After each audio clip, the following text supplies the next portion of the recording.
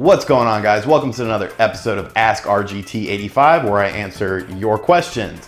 This week's question comes to us from Jon Canham. Jon has a channel. It's a pretty cool channel. I highly suggest you guys check it out. I'll put a link in the description box below.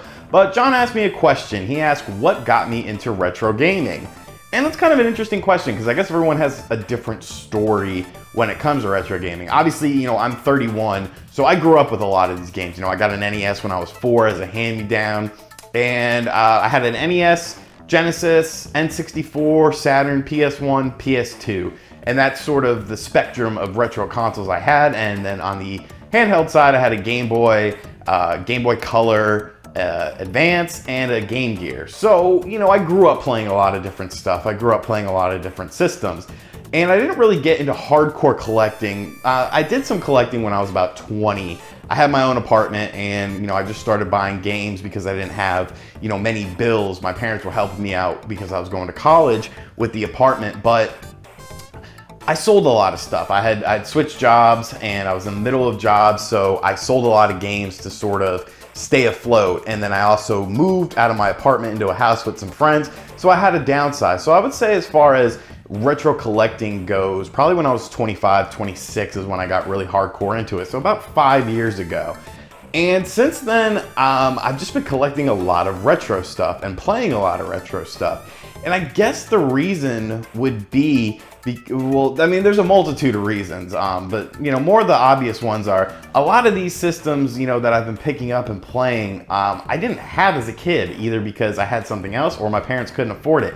I didn't have a Super Nintendo. I, I, chose a Genesis instead. So I really didn't play Super Nintendo games until I was like 18 or 19 as far as like hardcore owning them myself. You know, I'd play them at a friend's house, but I never played Super Metroid as a kid. I never played The Legend of Zelda Link to the Past. I played all those as, a, as an adult. Things like the Jaguar, the 3DO.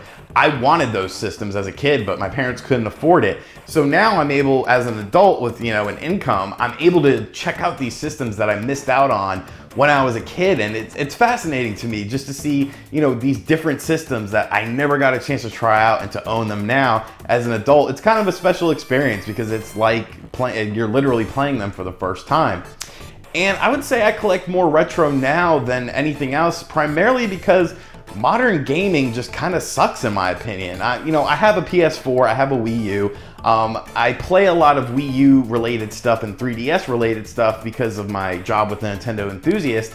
But as far as when I want to unwind or relax or just just play games, I usually play retro stuff, and that's because I guess modern gaming just isn't that interesting. Like, look at something like the Super Nintendo. Look at that library. Look at the Genesis library, the PS1, the PS2 library. Look at how diverse that is. And then compare it to the PS4. It's like night and day. There's not a lot of diversity. There's not a lot of originality in modern gaming. Um, on the indie spectrum, you know, you do get a bit, but as far as, you know, just AAA releases, they're not really there as far as, you know, what's interesting, what's different. You're getting a lot of remasters, if anything. So I guess modern gaming just is a little bit boring. I wish, you know, development costs weren't so high so that developers could take a chance and, you know, reach out and try different styles of games.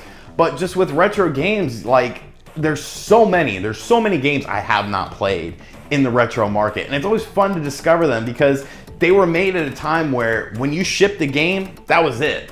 That was it. That was the game you shipped. You didn't have patches. You didn't have downloadable updates. And while those are good in modern gaming, um, because you know a lot of developers, let's face it, they rush these games. It also allows developers to sort of release an unfinished product and add content at a later date. Whereas back then, if your game sucked on launch day, your game sucked. Period. So you know, the classic games, they didn't, you don't have to worry about patches with those because they're classic games. They, they work the way they're intended to. And it's just an, it's just an interesting, it's just an interesting realm of how game development has really changed and whatnot. So I, you know, going forward in the future, I probably still will collect retro over modern. Like my modern, you know, my PS4 collection is pretty modest. My Wii U collection is pretty good, but Nintendo kind of does their own thing anyways. But as far as, you know, the PS4, Xbox One, I just think they're not very good systems, so I focus more on the retro stuff. I'd rather play Dino Crisis on the Dreamcast than, you know, some half-assed PS4 release or, you know, a remaster or something. So, you know, I guess I guess that's pretty much it. That's how I got into retro, and that's kind of why I stay in retro. Um, I do dabble in the modern, of course, but you know, RGT85 stands for Retro Gaming Tube 85, so you know, that's a main focus here. So I want to thank Jon for that question. As always, if you like my Facebook page, um, I post once a week and ask you guys to uh, ask me a question. So make sure you hit that up, like that page, ask me a question. Thank you for watching this video. Leave me a comment down below. Let me know what you got into modern uh, retro gaming about. And as always, thank you for subscribing. I'll check you guys next time. Later.